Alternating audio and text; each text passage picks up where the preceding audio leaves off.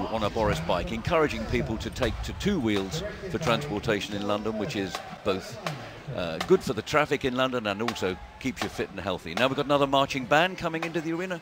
Who are these? These are the Desert Mountain High School Marching Band from Arizona, celebrating their 20th year as a high school in Scottsdale. They came in from Paris, Paris, last night.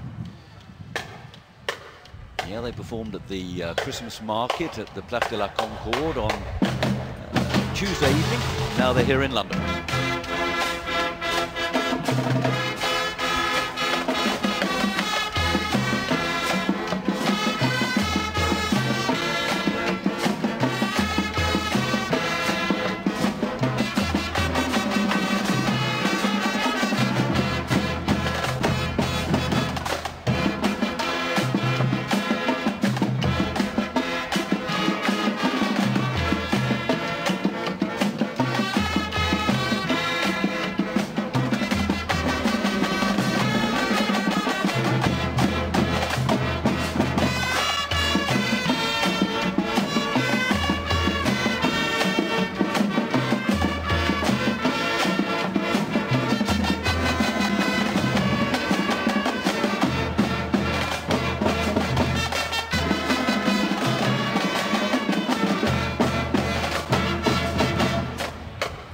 Michelle Irvin is the director of bands.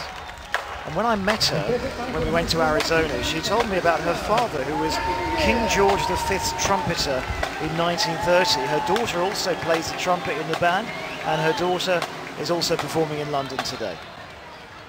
The Desert Mountain High School Marching Band from Arizona. That's the third time they've been in London's New Year's parade, and always welcome to be with us, and I do hope they'll come back sometime soon.